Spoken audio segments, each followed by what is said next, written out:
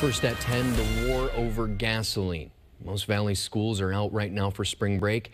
And as students look to rest over the next week, school officials are working to figure out if the latest gas price hikes are going to affect those who do take the bus. Good evening and thanks for joining us at 10. I'm Rudy Mireles. This is where average gas prices stand right now in each Valley County. According to AAA, gas costing drivers about $4 a gallon in Hidalgo and Cameron counties, and not really much of a difference in Starr and Willacy County, where the price is $3.99. That's for unleaded gas. That's what we typically put into our car cars. School buses, on the other hand, need diesel fuel. The average price per gallon, $4.97 valley-wide.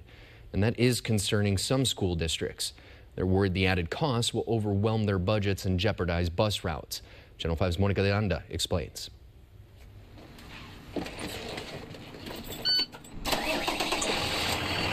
Every day, thousands of children hop on a school bus valley-wide, and every so often, bus drivers stop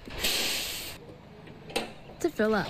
Well, actually, it's affecting every part of the industry as right now. Brownsville ISD's transportation director, Eliud Ornelas, says the jump in fuel prices is also affecting the district's $3.1 million transportation budget.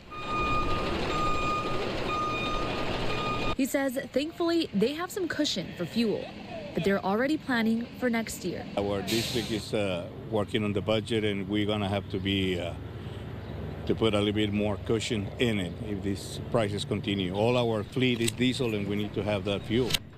Bus drivers here at Brownsville ISD have to fill up a lot. When they arrive at the fueling station, what they do is grab a pump and fill up two to three times a week. Right now, approximately 8,000 BISD students ride the bus daily with 160 routes throughout the district. And Ornelas says there's no need to worry.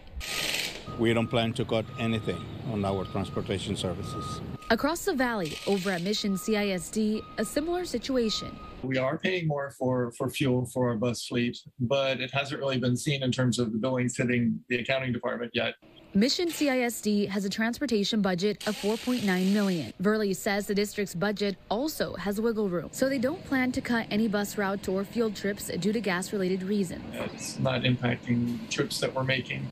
We're moving forward as regularly scheduled with all of our events. Uh, we don't want to impact uh, the student learning and the student activities in that manner. Both school districts monitoring gas prices closely as they look ahead to next year.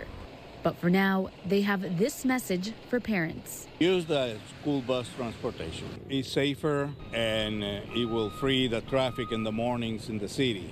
And they will save a little of money on gasoline.